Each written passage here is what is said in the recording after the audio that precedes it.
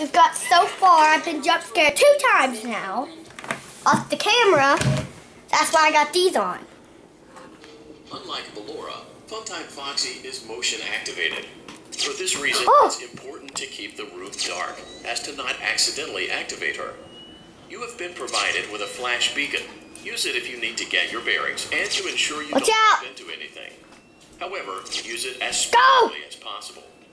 Proceed forward to reach the parts and service room away. Oh, no. That's the third time. How are you supposed to get through that?